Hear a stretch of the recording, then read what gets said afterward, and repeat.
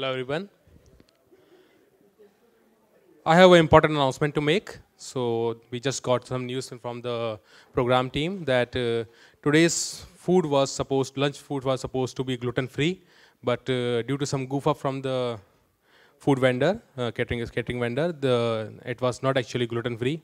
So in case if any of any of you are feeling some issues or and feeling uneasy, there is a nursing staff near the registration counter. So you can reach out to there and you can also contact any staff or volunteer or organizer for the directions. Uh, we are really sorry for this inconvenience, but it was unfortunate from our side also. So we are so sorry for that. So now, let's begin the next session. So before that, we have done a small raise your hand exercise in the previous session. So let's do that again. How many of you are here developers? Good number. And designers and marketers. So we have a mix of audience. And how many of you have ever browsed a web browsed a website or used an app that was so difficult to scroll or navigate and you you just came out of that. Yeah, this happened with all of us. And I'm sure you will never want to have the same experience for the website that you build and manage. Am I right? Yeah, so in this talk, we will learn about why it's important to design a digital experience with a purpose because without a purpose, nothing is good. We will learn how to apply key principle of intentional design, such as knowing why and who. We will also learn how to measure and improve design outcomes and navigate common challenges in the design process. Whether you are a designer looking for enhance your design approach or stakeholders wanting to understand how design decisions impact user experiences, or anyone interested in creating a user-friendly and effective design, this session will provide a valuable insight for all of you. Our next speaker is Jocelyn Hendrickson. She is a senior product manager at WordPress Commerce at Bluehost and have 10 years of hosting experience in, in, in experience in industry hosting industry. She has curious problem solving mindset and has strong belief that there is no limit what can be built when, the when we combine the creativity with curiosity. Jocelyn has led numerous transformative projects, including successful third-party integrations, interface designs, and system improvement projects. And she also had a very interesting WordCamp journey. The, her first, first ever WordCamp was WordCamp Asia that happened last year. And the second WordCamp was WordCamp Europe that happened last year. And the third WordCamp was WordCamp US. So she started her WordCamp journey with the, all the big WordCamps. And she's a mother of five kids, also has two cats and one dog. Anyone cat lover here? and today she is accompanied by her mother, who is here to cheer her. Please raise your hand and say hi to all our audience. So please welcome Jocelyn and learn about intentional design and crafting a purposeful digital experience. Please welcome.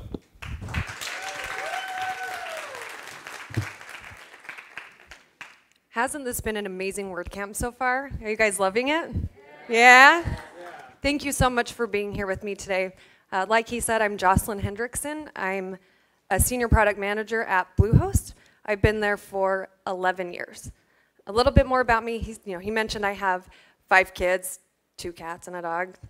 Yeah, it's a little bit busy there. I'm an artist. I'm a creator. I love building new things. I love designing new things, whether it's with digital art or watercolor or anything else. I just love the process of creation.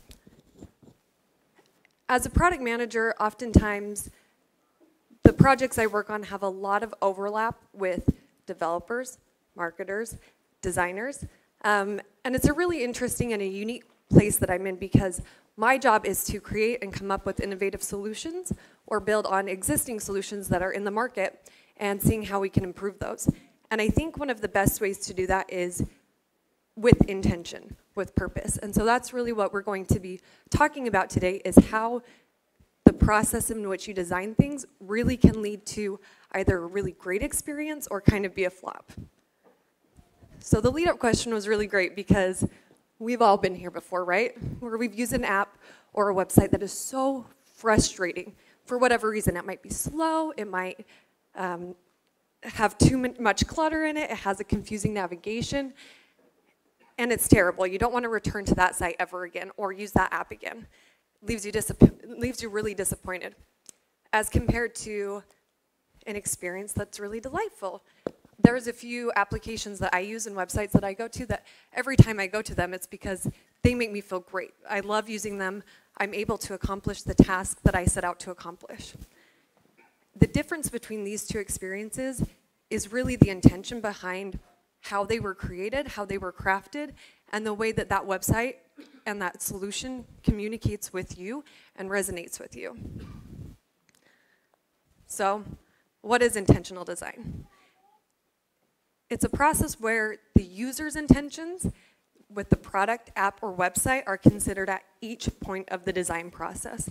It begins with the conception, it begins with the documentation, it begins with the thoughts and the ideas that you communicate with others. Um, it, it even goes down to as simple as like, should I use a comma or a semicolon here? It's the details that matter when you're designing with intention. So everything has always a specific purpose when you're designing with intention. Whether it's you're solving a problem, whether you're trying to communicate information, or reinforce a message to your audience everything is chosen deliberately. So I will start this off by telling a story. Well, let me back up a little bit. We'll talk about why it matters.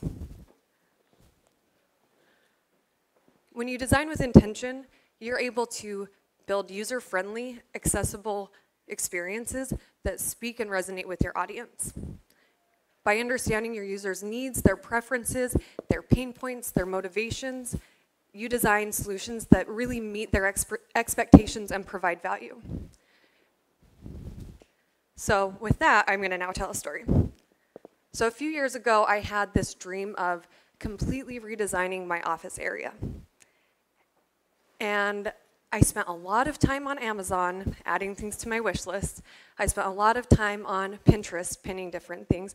And it was this complete dream to have a space where I could go create, do art, and be really uh, like just have a space that was mine that felt like me.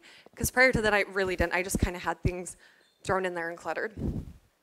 And my husband was very patient with me. He told me you can buy anything that you want. We can design it however you want. It's your space so I ordered some incredible wallpaper and a light fixture that matched and I was super excited for this journey and for redesigning this office so we took everything out put up the wallpaper, my husband installed the light fixture, and I was so excited. I was seeing my dream come true of this space that I wanted to create. And then I started buying a lot of packages from Amazon and buying things from the store, like a lot of things that probably shouldn't need to do. They didn't maybe match. Um, I was just very excited, and my excitement got the best of me. And after we put up the wallpaper and the light fixture, I still had to work on Monday, so I reluctantly returned my craft desk, my work desk, set everything back up, but still was very excited. And all those boxes that I purchased from Amazon that were showing up on my doorstep and things from the store, uh, yeah, that's when, that's when kind of things went, things went wrong. this is kind of what my office area started to look like. All the packages stacked up against each other. I had paintings and pictures that were mismatched, it was complete chaos. But I'll tell you that I knew everything, where everything was in the chaos. But if I asked my husband, hey, can you go get me some scissors from my area, he would never be able to find them. But I understood the chaos. And he asked me one time, he's like, this is really how you want your area where you're supposed to be calm and productive to be? No, it was not how I wanted it to be at all. But I'd lost sight of my original intentions of wanting to redesign my office. And I brought things in and purchased things just because I could. And that really leads to the point that I think is really important with this is that intentionality beats impulsivity. It's really easy to make quick decisions and get that instant gratification because you're able to do it. We live in a fast paced world where decisions are made really fast, but we lose sight of that intention and we end up oftentimes, some websites kind of feel like this, I think, sometimes too. So, how do you become intentional? I'll walk through um, some principles of intentional designing today. Uh, so, we start with kind of knowing your purpose, your audience, and then talk about simplicity, connection, clarity, and impact. So the first thing is before you start designing anything, and this can be for anybody. And when I'm talking about designing, I want to make it very clear. I am not a designer. I do not go on to Photoshop and design things. Designing things can extend way beyond that, whether it's you're designing an API, if you're developers, you want to design APIs that everybody wants to integrate with. If you are designing a marketing campaign, if you're designing products, if you're actually a designer, this can extend to anything. And that's kind of why I started with the story of my office redesign is because these principles, I really hope that you're able to take them and apply them to whatever it is that you want to create. And in order to do that, you have to start with your purpose. You have to have a clear vision of what you want to achieve. And oftentimes, what you'll see is we'll have this large purpose of our website, and that's great. We use that as our North Star, and we continue to, to think about that. But then, when we're building small details, such as maybe a contact form, the purpose is maybe for a newsletter, right? Like sign up for my newsletter. All you really need is an email address, and maybe I agree to receive emails. But sometimes you'll see those and it will be like first name, last name, favorite color, what's your pet's name, you know, what did you eat last night for dinner? And there's no point of that, right? So you'll need to ask yourself what the problem is you're trying to solve, what's the value that you're trying to provide, and what's the impact that you are trying to make. And that's not just for the entire solution, that's for every component in your solution. And in order to do that, you have to know your who. Who are you building this for? Who are you designing for? Why do they need this? What pain points are you trying to solve for them? What are their goals? What are their motivations? Why is it that this is a product or a solution that they need?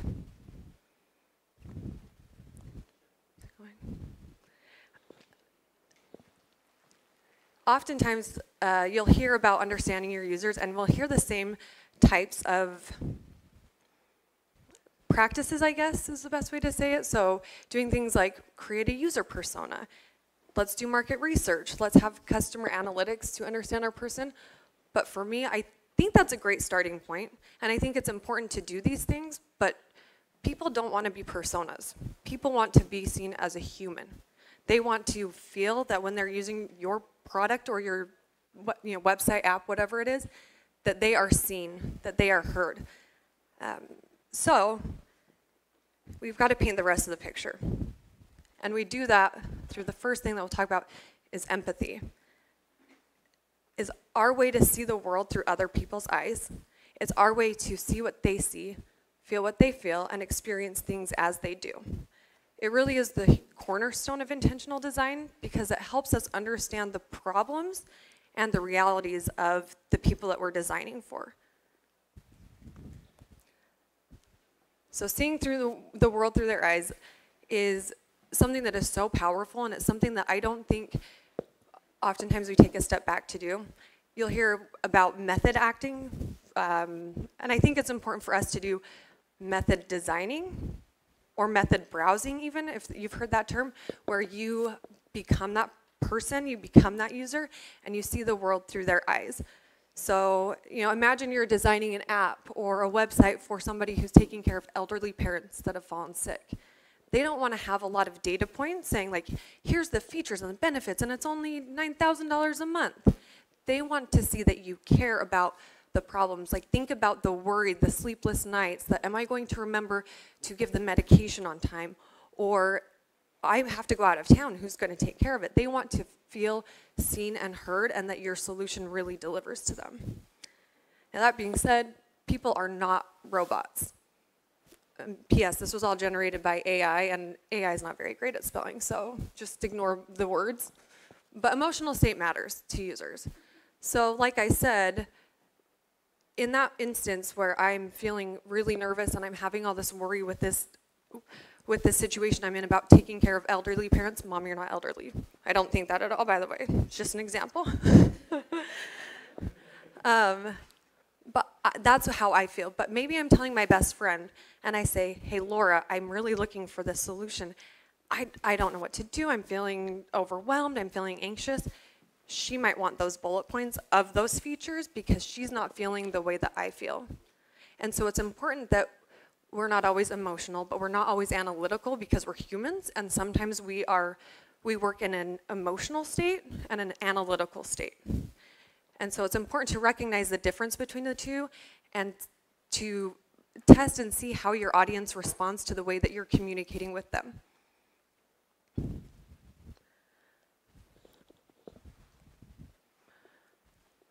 The next part is to design for context do you know where your users are using your solution? Do you know how they're using it? Understanding the context of how they use it and when and why they need to use it is just as important as knowing their needs and their wants and their preferences.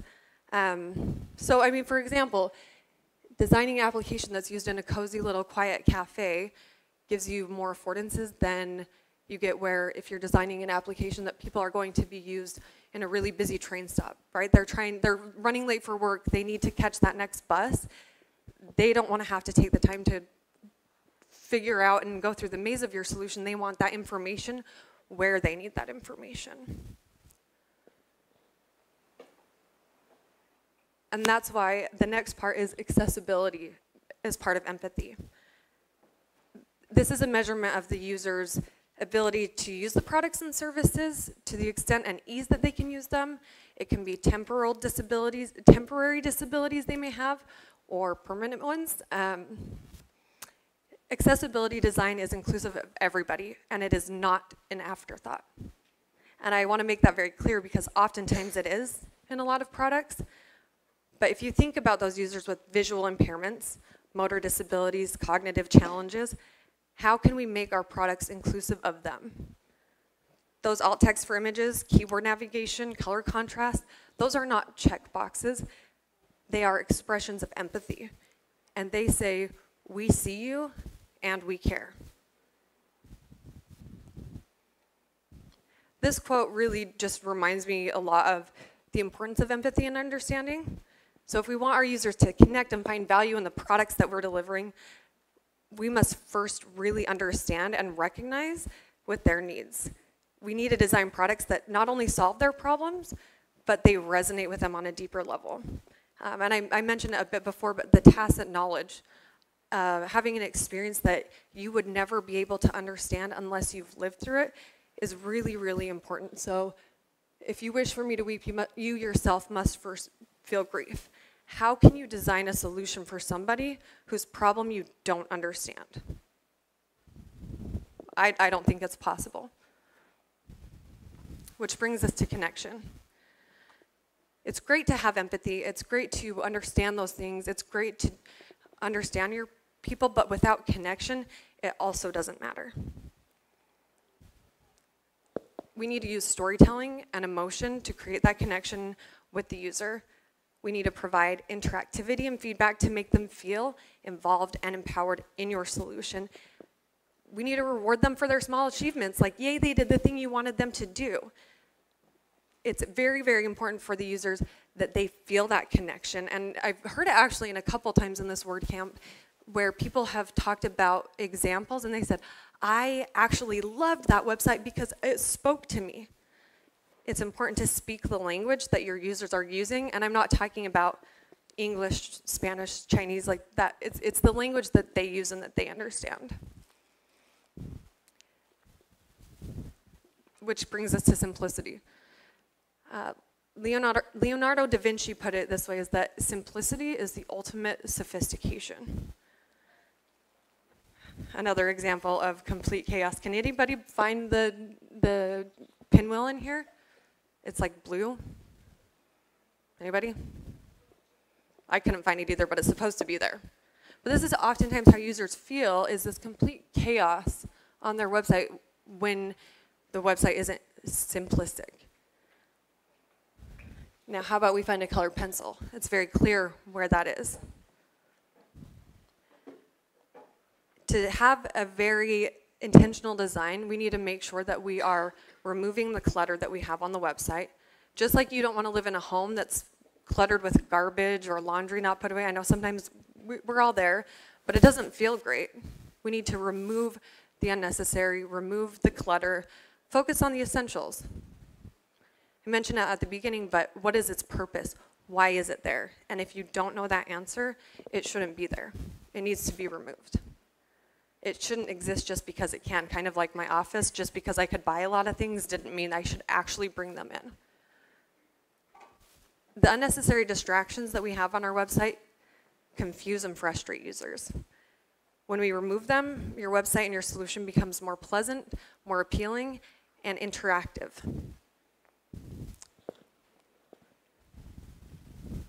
Clarity goes hand in hand with simplicity. It's really difficult to have clarity, in my opinion. It's really easy to be unclear.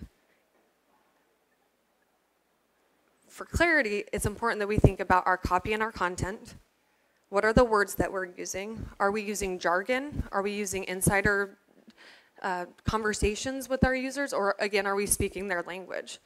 Are we using good fonts? Is our font size big enough? Can you read the fonts, a, a dark font on a dark background? No, right? You need to make sure that everything that you have is clear, that people can not only read it, but understand it. Your structure and navigation, the way that you inform your users where they are in your application is very important too. You know, you kind of go down a rabbit hole of website navigation and now you don't know how to go back. And that's where adding the details like the breadcrumbs and a clear and strong navigation are really, really important. One of my favorite quotes by Brene Brown is, uh, clear is, oh, this is like opposite, it's throwing me off. Okay, clear is kind and unclear is unkind we shouldn't make our users guess what we mean. We should tell them exactly what we mean every single time. And it's funny, when um, Contributor Day, this quote got brought up by somebody else, and I'm like, it's going to be in my talk. And it was really exciting because I think it's really powerful. We also need to understand the impact of our designs and our design choices, which means that we're measuring our outcomes and the results of our solutions. So start by setting very clear goals that can be tracked. You need to use the data and analytics that are behind them to evaluate the performance and the effectiveness of your solution, even down to the smallest detail such as a button or a link. Evaluate the user feedback and satisfaction that you're getting from your customers to understand not just like the visual experience, but their perception of it. How did they feel? How did they how do they tell others about it? Are they going to leave your application or your website feeling unsure about it or, man, that was terrible, never go there? But you need to understand the story behind that. And from there, you, you take this information to move to the next phase, which we'll talk about is iterating. It's not just enough, though, to understand the analytics in order to be empathetic and to really design intentionally, you need to build the bridges between the data that you're seeing and the analytics that you're seeing and the stories behind them. Right? So somebody abandoned the shopping cart, but why did they abandon the shopping cart? What what was the reason that they did or did not feel that way? What is their background or the characteristics that made them feel the same way? People are not the same. We could go to the same website and I might love it and you might hate it and that's okay and that's why you need to tie the data to the, to the humans behind the data. And iterate. Iterate often. Test often. We have good ideas, and it's, it can be really difficult, I think, to iterate because you're like, no, this was a great idea. I don't want to change anything. You should. You should test. You should iterate. You should take those analytics and the feedback that you're getting, prioritize changes and ideas that you might want to that you might want to make on your solution and make them small, one change at a time. If you change an entire web page because the analytics are saying that it's not converting or you're not getting a lot of views, and you change the whole thing, You're not going to know if it was it the messaging you were using, was it the button, the hero image? Make small changes and make them frequently to understand how you can improve your solution. I will say designing with intention is not easy. It's difficult and it can be time consuming and it's something that needs to have a lot of practice. It's really easy to have a, an idea and put it out there without any more thought to it. Some of the common challenges that you see, we'll kind of talk about, is lack of awareness really not understanding the full concept of what you're trying to build and why. And I, have done this a lot with um, my UX team is I'll say, hey, we're trying to build X feature. And they go, okay. And they bring something to me and it's lack of awareness because I have the context behind it and they may not have all the context behind it.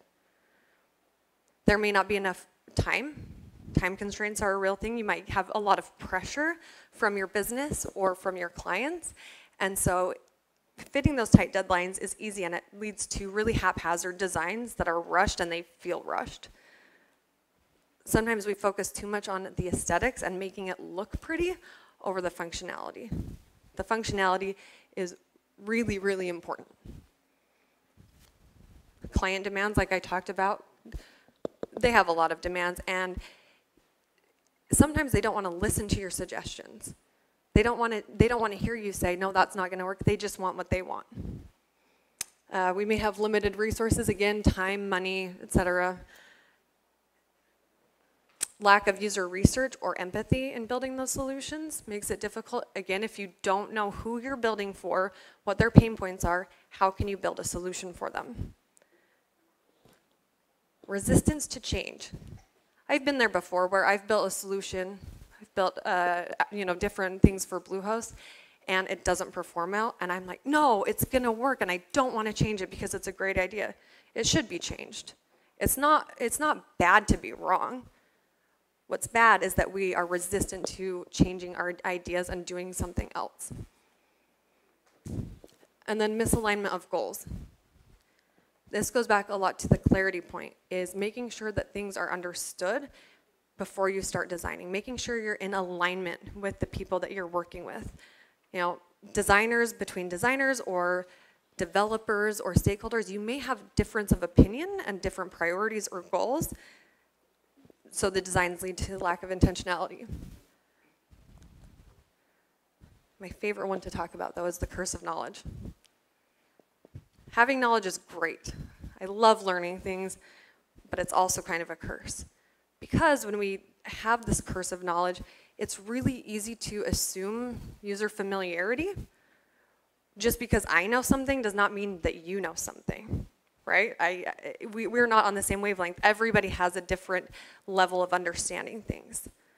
We'll use insider language because in our jobs and in our day-to-day, -day, we are used to speaking that way to each other. But your users may not be used to understanding that language. And I don't think that we oftentimes see that we are speaking in that way or that we are that way to them. We're overlooking user needs. We think that we know what they need more than they know what they need, right? Because we know, we have the information, we have the context, but we don't use that oftentimes in a full story. And one of the biggest ones I think is underestimating learning curves. Using a new app, using a new website, it can be difficult, it can prove challenging. We need to make sure that we're understanding and we know that it takes time to onboard to a new, new solution and that we're patient with those new users. So, design with intention, design with purpose. Intentional design is impactful, it's inspirational, and it's important. That's everything I have today. Thank you so much for coming.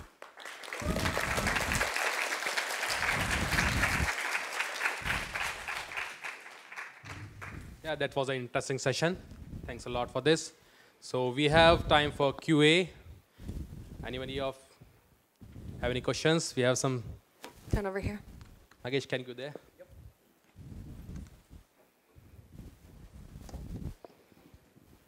Hello. Uh, thanks for the talk. Uh, it was a great sum up of a lot of topics, very well connected. Uh, I have a question regarding um, where you talk about uh, the resistance to change. and you said that uh, you want to, the, your team have designed something, and you are like, yeah, it's going to work. I was wondering when is the time that you start to iterate and you decide that okay, this didn't work? Because if you have the resistance to change, you, I, I really don't know when is the exact time that uh, you lose the hope or, or, or you check the metrics and say like, okay, th this really don't work. We need to start with, uh, Uh, we need to change it and start again. Okay, so the, the question, and I, I think I'm understanding it right, is that you're asking when is the best time to look at our existing solution and decide based on the analytics when we need to iterate and, and how do we do that? Is that basically what you're asking? Okay. Yeah. That's a great question, and I think that it goes back to a couple of points is you have to start with knowing your purpose and setting very clear goals. If your goal is to build a web page that's going to have say like 50% conversion or whatever it is and you're not hitting that goal, that's a clear indication that it's time to look into it. And it's really important to make sure that you have the analytics on your website that you're looking at and you're looking at them regularly and you're evaluating what you're seeing against those goals. Um, and so as far as like knowing when to iterate, I think as long as you kind of go through the steps and you say, okay, do I understand what I'm building? Does it, does the solution there, is it the right thing? It might be the wrong color or the wrong words, but I think building with users and doing user testing will also help that. So I, the best time is when you're not achieving your goals and your outcomes, it's time to reevaluate because if, if you're not achieving them, you're, you're failing. And we, we don't want to fail. We want to we want to have successful websites or products. So that would be my advice is take a look at what you're trying to achieve, see how far off you are. And if you're like trending up and you're like not there yet, but it's a good trajectory, like maybe don't change it for a while. Give it the time, you know, to ramp. But if it's not, if you're not seeing kind of that return on investment, then I would say figure out where it's going wrong. Does that answer your question? Yeah, thank you. Yeah, great. Any other questions we have? So um, that the situation we found we got the situation lately with the clients, one of our clients. So we are developing the um, the consent page for them to read for the user to read um, the privacy notice and including a term of term of service. And we consult with the the, the clients' um, lawyer, lawyer teams, and we uh, come up with a design that we we think that it is for us, I, we think that it is good for the customer experience entirely. But when we presented to the lawyer, they they they resist us. Then they say that no, you need to put um, the terms and condition before you sign up process. But instead, we are designing the the term and condition built in into the sign up form. How can we um, persuade the lawyers or the the another stakeholders to make sure that um, what we are designing, what we our intention to let people um, do the sign up in the sign up process to make sure that we are on the same page and they understand what our intention is.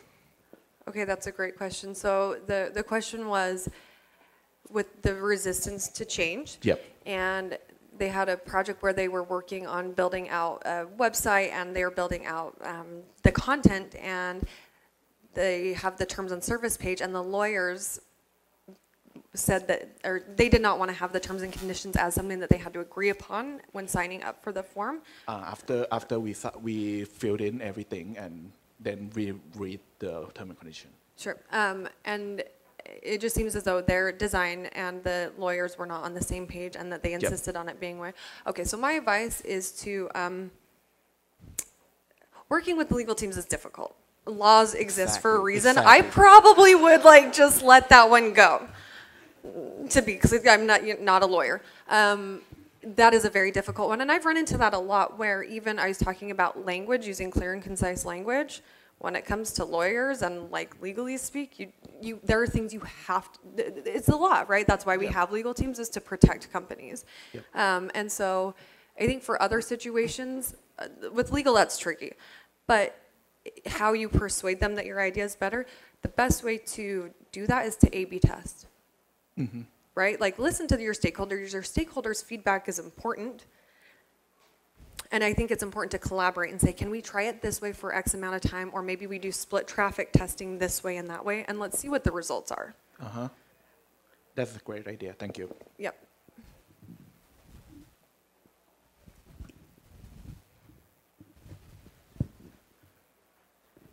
Hi, my name is Amy. I'm a user researcher, and um, I very much agree on your point of view about like how to build the empathies to with um, um, with your teams, right, and helping the teams understanding users. But um, in your last point about a new user that need, uh, new solutions that require times and also need to be patient. Uh, as a user researcher, I can also very much like I wanted to in my current situation. I really wanted to persuade my team to be patient because I know like how much the learning curve we're introducing uh, to the users, right? Um, but what if there's no time and there's you also know there's a cost of waiting, right? And this is actually putting the whole company into the risk. Um, as a product manager, how are you going to balance your times and also the cost of patience? Yeah. Yeah, so I think I think that those are really great questions. It sometimes we have to build things and we have to build them quickly, and it's okay to build quickly and it's okay to fail fast. I think that it's important to always be performing user research, regardless of it is, and even if it's deployed after like if, if you deploy a new solution and you're doing that user research afterwards, then you can take that information to propose iterations to make changes for the future. Because I know sometimes with stakeholders and alignment, it just there there is no time, you know, for those things. And I think it's really important why I talked about the common challenges is because it is hard. It is hard because there is that time constraint, there is that pressure, there is that misalignment of stakeholders to those people. Um, so I think it's really a process and it's something that you have to push forward and and once you can kind of explain the benefits and get alignment with your team on those things i think it will come to fruition but I, I don't know I, I mean obviously i don't work for your company but sometimes you can't you can't change those time time frames and i would say to just keep pushing keep doing the research even if it's deployed understand it and then you can use it as a post launch understanding of, of what it is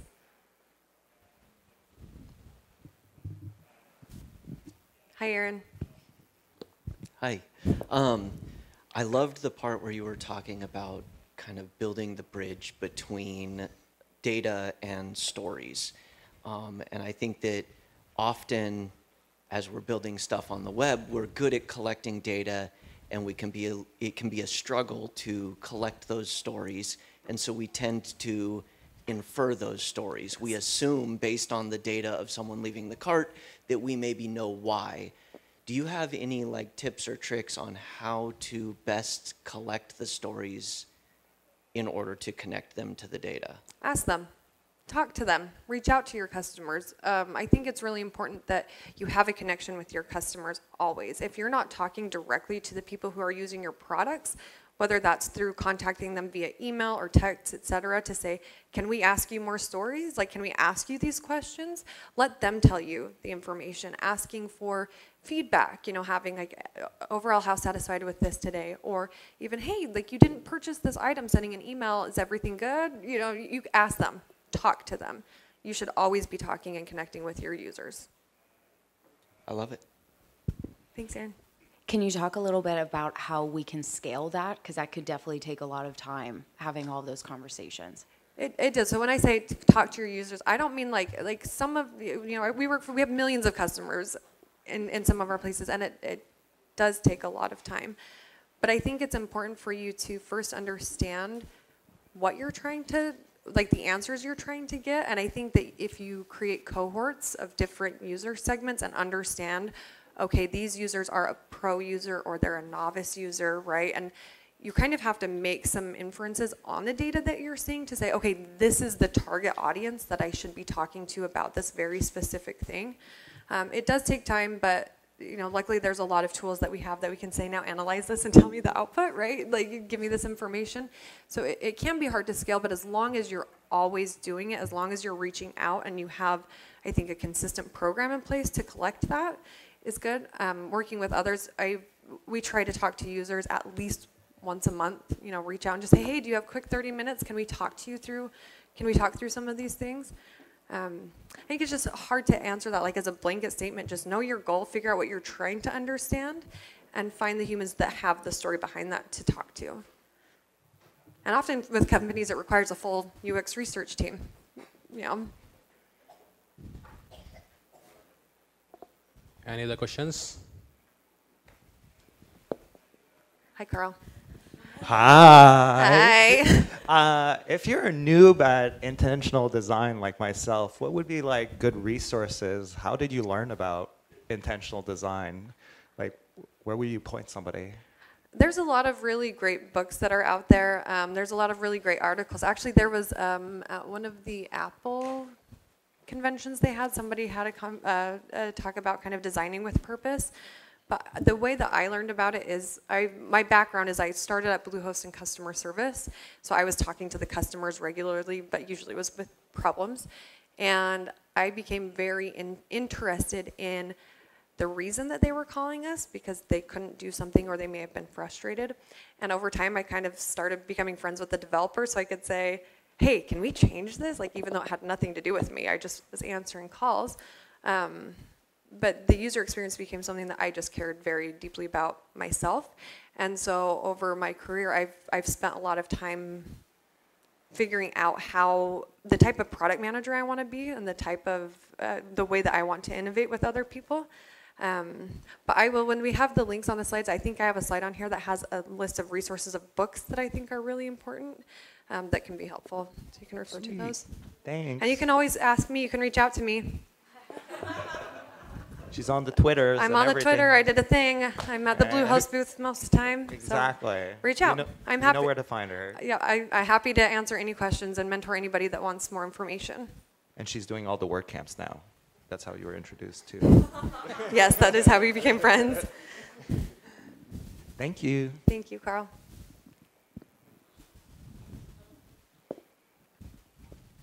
So I think this will be the last question because we are running out of time. I have a question about hiring. So I was once told a product designer shouldn't be looking into data. Um, so I'm wondering if you build your own team, what is the most important element um, when you're hiring a, a designer or like a build a product design team that can conduct this kind of research, especially if you're in a startup? That's a great question and not something I have experience in. I'm not, I don't hire people. I'm not on the, I'm, I'm not a designer, but I think Who you enjoy working with if you have some buddies that work with you? What abilities that we would look into? Sure. I am somebody who is able to really analyze information that they're very excited about learning about customers, that they're not afraid to talk to customers, um, people who like to be innovative, they love to challenge, they have new ideas, um, and people that just really showcase that they understand the reasons behind what they're doing. Um, oh, that's a hard. I work with so many different people, and everybody has very different skill sets. But um, yeah, I think just somebody who constantly wants to improve and make things better for the right reasons. Thank you.